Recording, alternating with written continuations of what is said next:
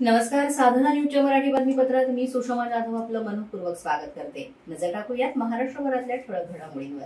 प्रदीर्घ कालावधीनंतर देवरी तालुक्यात पावसाचं आगमन. गेल्या काही दिवसांपासून मान्सून जिल्ह्यामध्ये हुलकावणी देत होता मात्र बुधवारी अचानक मान्सून पूर्व पावसाच्या सरीचं जिल्ह्यामध्ये अनेक ठिकाणी आगमन झाल्यानं नागरिकांना काहीसा दिलासा मिळालाय. एकीकडे शेतकरी मशागतीकरिता पावसाची वाट पाहत आहेत तर अचानक आलेल्या या पावसानं काहीसा दिलासा सुद्धा मिळालाय.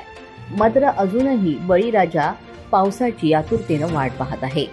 साधना न्यूज मराठीसाठी प्राचार्य डॉक्टर सुजित टेटे देवरी.